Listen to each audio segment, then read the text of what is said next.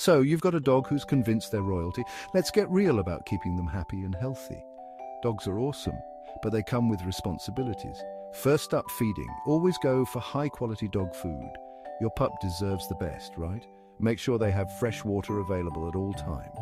Hydration is key. Exercise? Oh, they need it. Daily walks, playtime, and a good game of fetch can work wonders. It's not just about burning energy, it's bonding time too.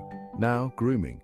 Regular brushing keeps their coat shiny and reduces shedding. And don't forget those nails, trim them regularly to avoid discomfort. Vet visits are a must. Routine checkups can catch issues early. Plus, vaccinations keep them safe from nasty diseases. And let's talk about love. Shower them with affection. Dogs thrive on love and attention. A happy dog is a healthy dog. So there you have it, simple tips to keep your dog wagging their tail and living their best life. Happy caring.